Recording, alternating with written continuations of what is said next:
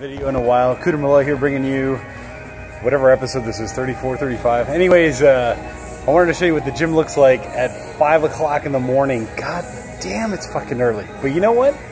It's all about motivation and dedication, and that is the theme of today's video. I just want to thank all the people that have subscribed to my channel, for liking the videos, all that good stuff, making comments. But uh, really, we're here to work out, burn some body fat, gain some muscle. I'm trying to go from chunky to hunky.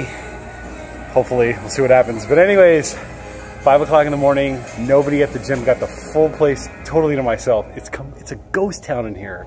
And that's why I come in so damn early. Keep with it, stay with it, keep doing your thing. Eventually you'll, you'll attain your fitness goals.